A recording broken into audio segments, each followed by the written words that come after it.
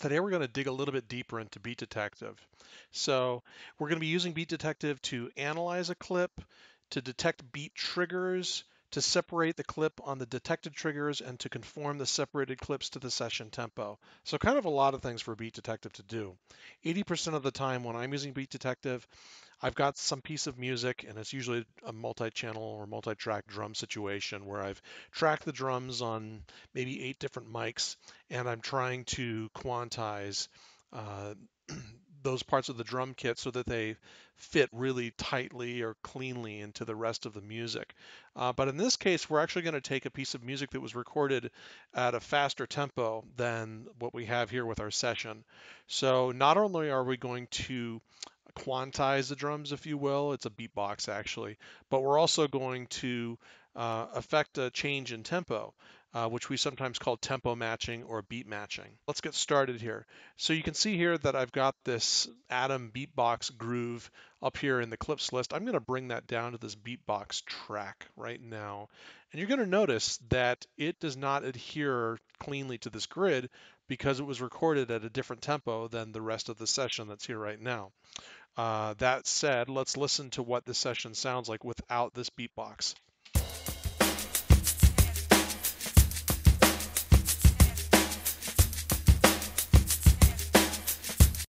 Yeah, kind of funky little 16th note rock thing with a shaker. So I'm going to create a click track now. Hopefully you can see the timings matching up with the session clock there, but uh, just to keep us honest, I am going to create a click track now. It's solo saved.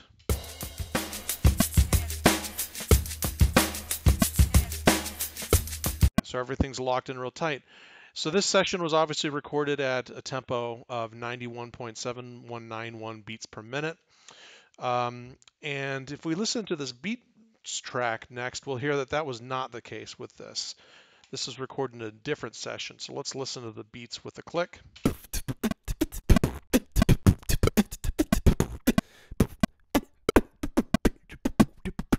So you can hear obviously that that was recorded at a much faster tempo.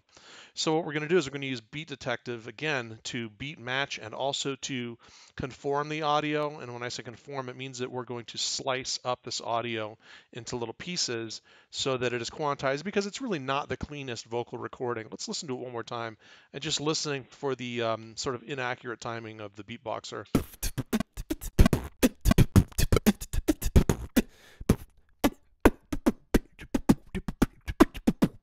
So it's not really terrible, um, but we can make it a lot more perfect than that, which is what we're going to do. So first thing I'd like to do, and I mentioned this in the other video, is to create what I sometimes call a safety. So we're going to leave this soloed, and I'm also going to go to the playlist selector here, and I'm going to go to duplicate. And here, um, I could either make this the destination or the original, if you will. Um, so let's go ahead and just call this the original. Um, so I've still got that there. In other words, you know, if I had to, I could always go back to the clips list, no big deal. But it's really convenient for me just to be able to switch from here, much more convenient than it is for me to have to go all the way to the clips list and drag clips in. All right, so let's switch to our alternate playlist, which is the one that we're going to be using Beat Detective on, this Beatbox 1, all right? And, uh, you know, I could even rename this one. So we'll call this BD just so we know which one that is. All right. So right now those two playlists would look exactly the same, but not for long.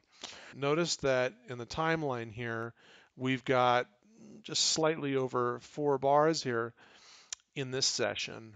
Um, however, this actually is four measures worth of material, this beatbox loop, in other words. So what we need to do is we need to do the beat matching that I just told you about. Um, and by the way, when you're doing this work with Beat Detective, you're going to want to have the track as big as possible. So I sometimes just call it explode or E, which does this, which is zoom toggle for us. So I'll push E and that'll make things a little bit more visible there. And I'm probably going to want to shutter that clips list as, as, necessary also. And I might use the T and R keys. I might also use my um, zoom preset keys. It looks like three is really close to explode, right?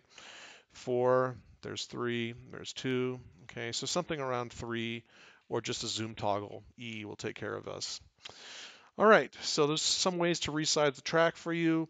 Uh, and let's go ahead and um, define a selection in Beat Detective. So what we do here, Uh, you'll notice right now, by the way, that my link timeline and edit selection is turned on. When we're in Beat Detective, we're generally going to want to have that turned off, which is a little bit strange for us because 90% of the time we've got it turned on. So at some point we'll make that adjustment, but for now I'm just going to make the selection here. I've selected my clip here. I could use a grabber tool. I've just double clicked with the selector tool. And now I'm going to open up the Beat Detective function. So from my menu at the top, um, I could go to event or I could use the shortcut, which is command and eight on the keypad. So that opens up this guy and there's quite a few little sub dialogues here in this box. And nine times out of 10, the first thing that I would do would be this, separation. Um, we also need to analyze this audio. So um, another quick tip for you guys is when you're working with Beat Detective, you'll notice here that it's generated all these beat markers or triggers automatically. Um, I'm going to bring this all the way down and I'm just going to show you a trick which is it's half speed playback. So if I hold down the shift button and hit spacebar then we'll get this.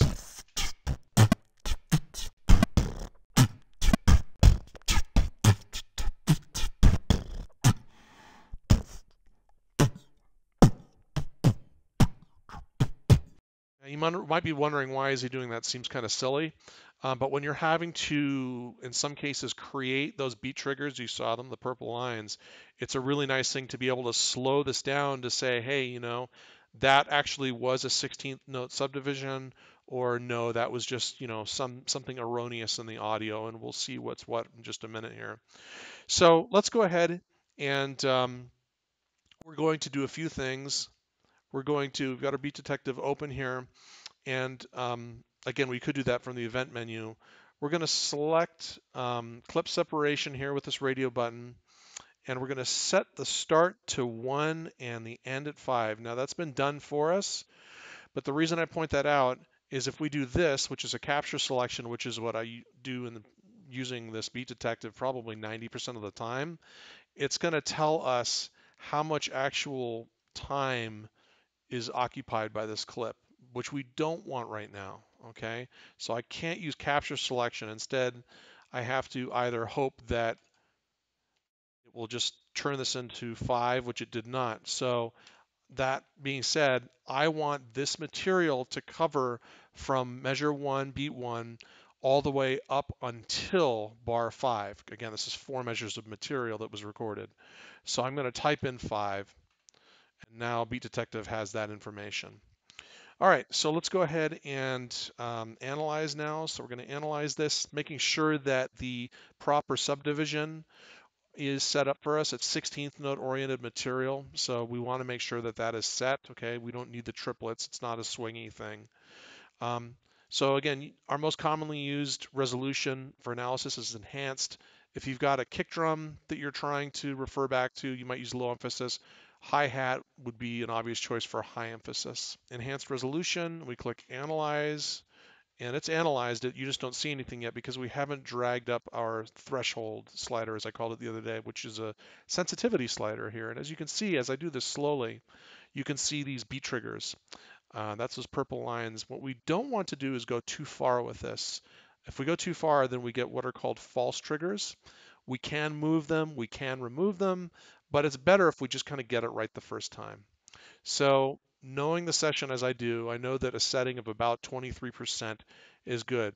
You know, again, if I go crazy here, you're going to start getting false triggers. You know, you're going to get stuff like right here and, um, oh, other parts, you know, in between transients and dead space that where there's nothing going on, okay? So we're analyzing the subbeats or 16th notes here, but again, I know that I can bring this back to 23 and I've got about 90% of my material covered. Let's go ahead and we're going to add um, a few beat triggers in here. I'm going to add them in right now. Let the click in there. Okay, so maybe you heard right here um, that there's actually something going on. So I need my grabber tool at this point and I'm just going to click right there and now I've got this purple line okay these are the beat triggers and I can move that if I want to but I kind of want that to be right on the transient Okay, these are also going to be subdivisions of the beat. Okay, and it could just be that he wasn't using um, as heavy of a articulation there. But again, this is a really good place for you to use that half tempo, so shift space. Yeah, so obviously right here he's doing a again, so I'm going to click there. And here's one big one that it missed somehow. Okay, so we're going to go ahead and insert one there. And I'm doing that, I'm doing the insertion just by clicking. I could remove these, by the way, by holding down the Option key, and then the hand has a minus symbol next to it. It's kind of like when you're removing stuff up above in the rulers. So that's removing it. Clicking it just adds one there, and then I can move them around. Um, although sometimes it's not a really great idea because they'll do weird things like you just saw there. So let's see how things are going. You can also display the trigger time, which means the subdivisions in this case are uh, 16th note subdivisions. So 0 for the downbeat, um, 240, 480, 720, uh, and so on. Let's see what we've got here.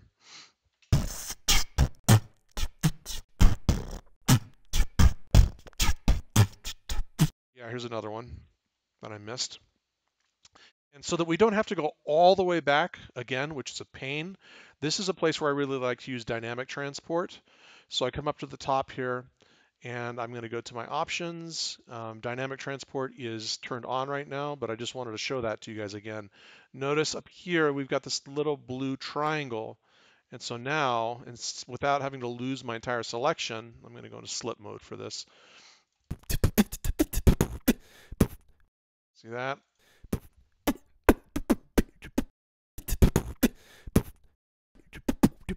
So I can play back from any place in the session without having to lose my selection. And that's another reason, as I mentioned at the beginning of the video, that there's this timeline and edit selection that we generally want to leave off when we're dealing with Beat Detective. If you leave it on and you come up and you try to start um, a new place for playback, so I'm going to disable my dynamic transport to demonstrate this point.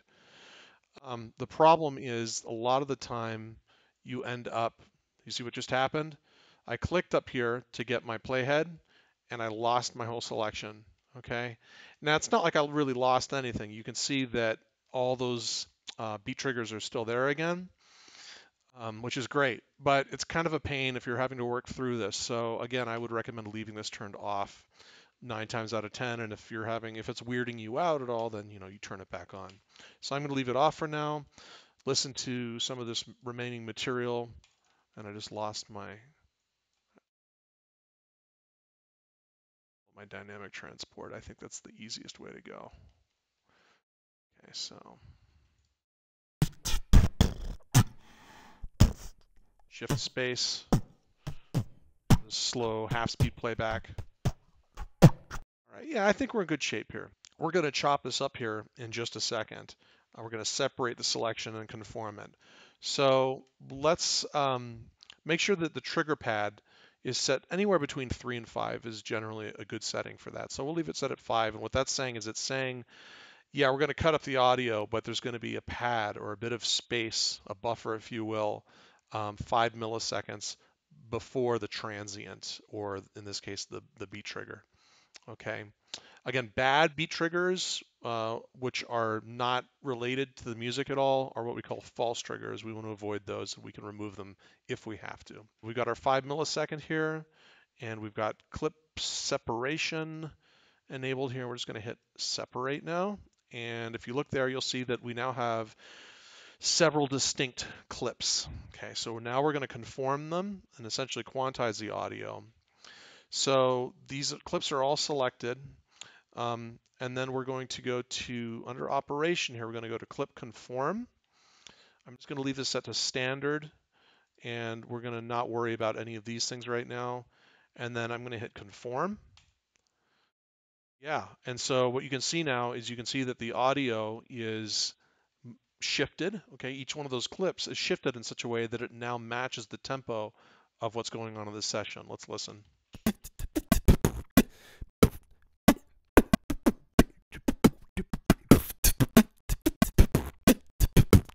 And it's a much better performance now because we've also essentially quantized at the 16th note level. You'll notice here that these clips start, you know, the selection starts at one and it goes to the end here.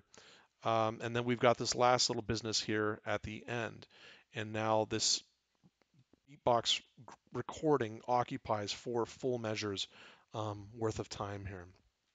If I had any smoothing that I needed to do, I don't really have to here, but I might want to draw some little crossfades um, going from one clip to the next.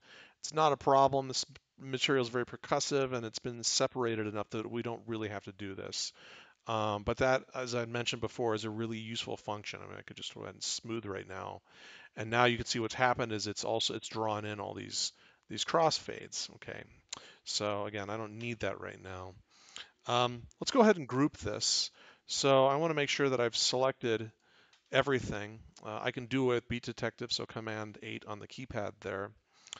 Um, and then actually it might be nice for us to sort of zoom in or out using three or four.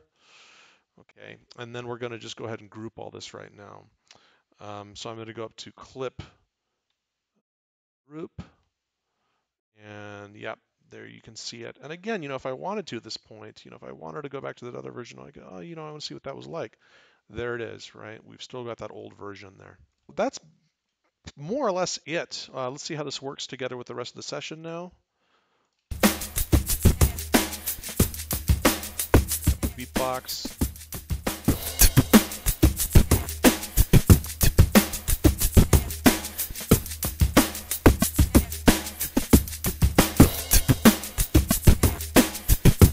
so it's it's perfect now with that groove.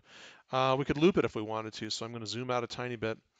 And I want to show you what does happen sometimes when we're doing this work. This, this tiny little bit, tiny, tiny, tiny little bit of extra here. So I'm going to get my standard trim tool, not the loop tool yet. I'm going to kick into grid mode, and I'm going to just get rid of that offset. I've blown off that offset, okay? And so now if I wanted to, I'm going to go ahead and hit option R for repeats. Uh, I could repeat this out as long as I wanted to, let's say eight times. If I did not get rid of that little bit of extra there, I'd have a slight bit of offset coming into every bit of loop that might eventually add up um, to make it unusable as a loop. So let's hear what happens. I'm going to start in using dynamic transport right at the end of this original.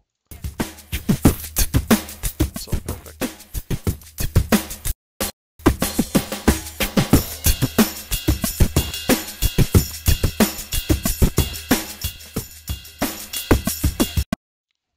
Right, so that's it.